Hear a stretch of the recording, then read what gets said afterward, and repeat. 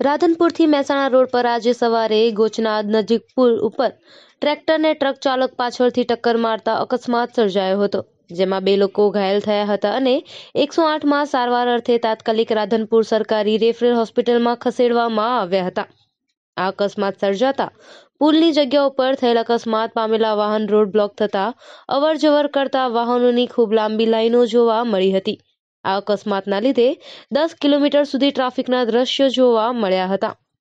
Bureau report Anil Ramanuj, Radhanpur.